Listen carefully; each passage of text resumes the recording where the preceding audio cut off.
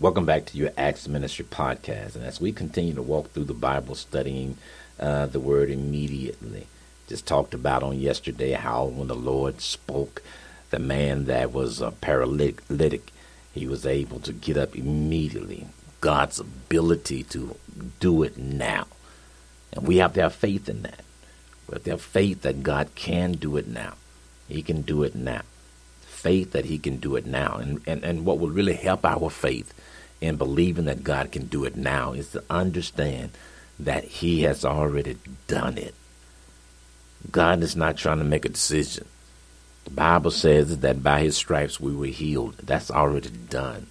Healing physically, emotionally, mentally, spiritually, all that is done. He fulfilled all that on, on the cross of Calvary. Now, watch this, because the Bible says this chastisement of our peace was upon him that's our emotional. That's healing for the soul.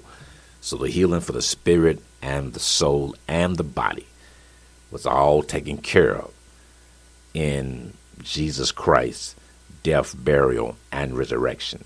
The crucifixion. He was beaten so we could have peace, we could have comfort, and we could be healed physically, mentally, uh, spiritually, and in every way. The next time, next time is mentioned. Next time is mentioned, and, and is in Mark chapter four, and Jesus is talking to a great multitude, and he, he he's explaining this this incredible parable of the sower, which is which is so important that uh, he referenced this parable as the one that we needed to understand in order to understand all parables. But in Mark chapter 4, first six verses, and again, Jesus began to teach by the sea. And a great multitude was gathered to him, so that he got into a boat and sat in it on the sea. And the whole multitude was on the land facing the sea. Then Jesus taught them many things by parables, and said to them in his teaching, Listen, Behold, a sower went out to sow, and it happened as he sowed that some seed fell by the wayside, and the birds of the air came and devoured it. Some fell on stony ground, where it did not have much earth, and immediately it sprang up because it had no depth of earth. But when the sun was up, it was scorched, and because it had no root, it withered away. Now, this is talking about the sword, and, and basically what this is uh, is a parable that Jesus is teaching. And the sword here represents a farmer. A farmer.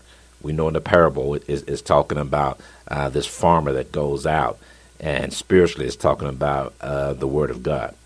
But he, he's talking to these people and he's teaching them that when a farmer goes out and he, th- he sows seed, there is some seed that fell on stony ground. And he said it didn't have much earth, and immediately it sprang up because there's no depth of earth. But when the sun was up, it was scorched because there's no root in it, and it withered. So what he's saying is this is a particular uh, person.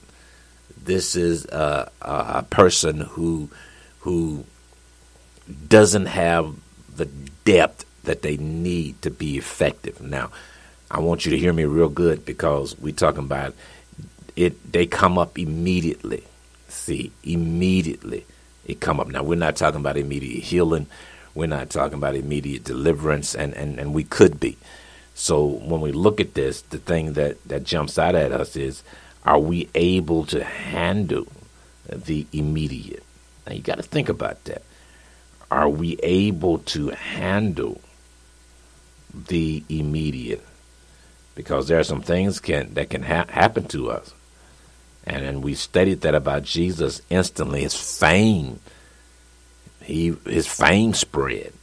Remember, the Bible says when David, uh, after killing Goliath, they were singing his song, and not just singing his song. The Bible says that his name was in everybody's mouth.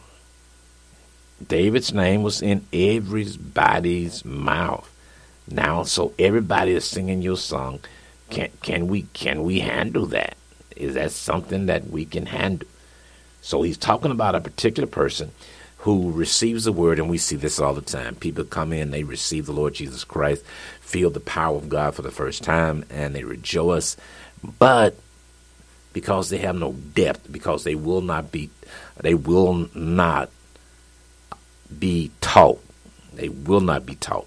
They will not discipline themselves to be taught. They will not come to Christian education, Bible class, or the preach word. They will not be taught. And because of that, they have no depth. In other words, they're not deep enough to handle the immediate. I want you to hear that. They're not prepared to handle the immediate. They're not, they're not prepared to, to shoot forth an environment that they don't have any root, they don't have any substance of God's word. That's why you must love the word of God. You must be a connoisseur of God's word. The Bible says, Man shall not live by bread alone, but by every word that proceedeth out of the mouth of God. So we have to be prepared, prepared, really, really prepared for the immediate. Now we're talking about immediate. Now we're talking about the preparation for it, because it takes depth. It takes being prepared, and nobody grows. Nobody grows immediately. No one. Your child don't. Child is not born today, and and he's immediately an adult. He's not. No, there there's a process. There's a process, and when we go through that process, then we got deep enough roots to be able to handle what the Lord is wanting to do in our lives. Now, this is this is the parable, and he tells this parable, but Jesus he comes back and they ask him to explain it. So when they ask him to explain it, uh, he explains what this means. Uh, this this this seed that is sown on stony ground and comes up immediately, but the sun it scorches it and it had because it has no root. Now, a few verses in in Mark chapter four, uh, verse sixteen, a few verses later, the apostles didn't understand and they wanted the Lord Jesus to explain it to them, and he does this in Mark four, sixteen and seventeen. He says, "These likewise are the son are the ones sown on stony ground, who, when they hear the word, immediately receive it with gladness." and they have no root in themselves, and so endure only for a time.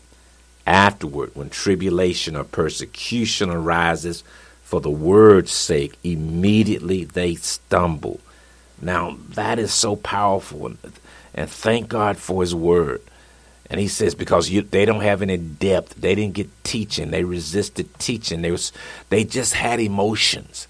They were so excited, and we should be excited but in the midst of our excitement, we have to hear what God's word says. We have to eat the word of God. Man shall not live by bread alone, but by every word that proceedeth out the mouth of God. We have to eat the word of God to live. So he, he says here that this is a believer, and this is a believer. They receive it and with gladness, and but over a period of time because they didn't get the word deep in them, the word of God, to stabilize them. They're not on, on, on stable ground. And because of that, they only endure for a time. For a time. For a short period of time. And then it says when tribulation comes, for the word's sake. Now, so it's coming because of what you believe, but not, you, you just can't believe it. You got to know why you believe it and how to defend it you got to know what, this is what we believe, and this is why we believe it. You, hear what I'm telling you. This is why it's so important to know why you believe. Peter said we should be able to give anyone an answer for the hope that is within us. We should be able to tell people why we believe what we believe. Should be able to tell them that. We should be able to tell them why we believe that. So it, it says that this person is not able to do that they have no root in themselves. And I watch that. They have no root in themselves. This is something that you have to do. You have to get enough word. You have to go deep into the word where you got good root because the wind is going to come and when the wind comes it's going to blow and blow and blow and if there's no root you're going to get plucked up yeah all that excitement all that emotions and all that all that jumping but if you don't have any word you're going to get plucked up and then it says when this happens notice this immediately they stumble immediately they can't take the persecution the Bible talks about them being offended. They're offended. They're offended. And they leave Christ. And they leave Christ because they really never got chance to know him. We get to know him through his word, what his word has said to us, what his word has declared unto us. That's how we get to know Christ. And here, this group of people uh, that was just running off of gladness, running off of emotions, running off of feelings. That's that's that's feelings and and and emotions. And the Bible says that that when when trouble comes, and brothers and sisters, trouble's gonna come. The Bible's clear about that. Man that is born of a woman is a few days and full of trouble. That's for everybody. Everybody. But when you're born again, it's coming. Trouble is going to come. And what, what a lie that the devil has uh, instilled in some people, have caused some people to believe that once you uh, get involved with Jesus, once you accept the Lord as your Savior, then all your troubles are over. That's not true. That's not true. That's not true. Not your trouble is going to be over, but the Lord will be with you in the midst of trouble. Trouble is for everybody. You know, we just get paid for our trouble. But trouble is for everyone that lives on the planet. So they were wa- walking after just gladness, and, and, and that is they were living living on their emotions, on their emotions, on their feelings, and that's not going to work. That is not going to work. Your feelings and your emotions will run out and you need the deep root. And we can only have those roots by applying the Word of God, hearing the Word of God. And we have to be taught. And we live in a generation now that is against teaching. There's a generation that believes that it knows everything. And anytime you believe you know everything, you have set yourself up for failure.